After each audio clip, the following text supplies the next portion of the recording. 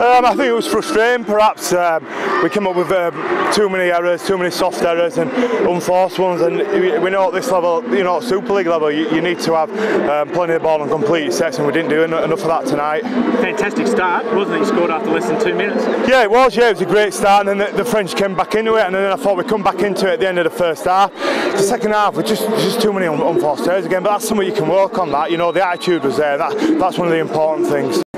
How much has that uh, the late two tries changed your view? I mean, had it finished 36-6 or whatever yeah. it was, 32-6, would you be much happier than you are at 32-18, or was it? Uh, no, I think at 32-6, I think we even had a couple of opportunities to, to even go on. I think Gareth Widdops made a, a uh, you know, clean break through the middle, and you know that's the game of rugby league. You know, it's very disappointing to concede a couple of late tries, but uh, you know.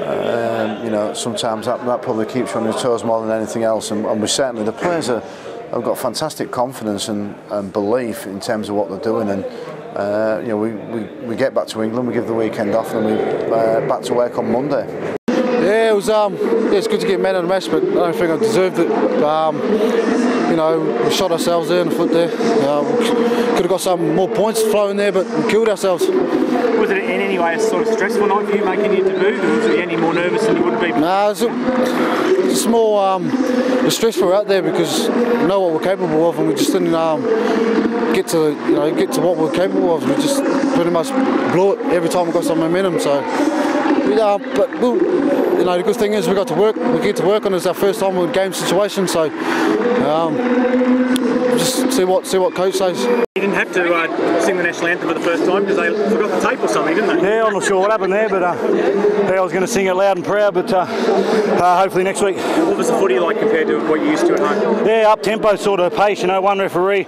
big 10 metres, and uh, you know it was a it was a pretty quick game. And credit to the French, you know they played pretty well. So uh, we've got a bit of work to do through the week, but that's what a friendly's about. Your first look at um, some of your teammates in action. Who impressed you? Oh, all of them, mate. All the whole forward pack's been great. Even that training, you know. Um, they're world class players. You know, the, the whole 24 man squad, and you know, it's just great to be a part of it. And what are your impressions of the new players and how they gelled with the rest of the Yeah, they played well. Uh, you know, I was impressed by all three of them. You know, they, are all they're all great players, and I, I thought Gaz Widdop played great when he came on as well. Uh, the, the, the, coach is going to have some headaches selection-wise, isn't he? Yeah, yeah, that's good. Um, I, I, think that's really pleasing about this squad that there's actually some strength in depth. You know, you go back three or four years, and when you put on your bench players, they suffer. But I think we've got the strength throughout the 24-man squad at the moment. And uh, was the combination between Rangi and Kirk Yeaman, that was dangerous? Yeah, it was. Yeah, Rangi's a dangerous player, and so's Kirk. Um, you know, get the ball in the hands a little bit more, I think it'll be a little bit better for it. But again, that comes down to finishing our sets. You didn't build enough pressure. That combination with Kirk Yeaman, that looks promising for you, doesn't it? Yeah, we just need to build on it. And, you know, it's um, something we can build on over the over the tournament. So hopefully, uh, we'll just keep improving. What about the other new fellas, uh, Jack and, and Chris? How do you reckon they went? Yeah, good. You know, Every, everyone went okay, but we got to points where we could have, you know, kicked on, but we just um, let ourselves down there with forcing errors and stuff like that. Did the anthem stuff all settle anyone?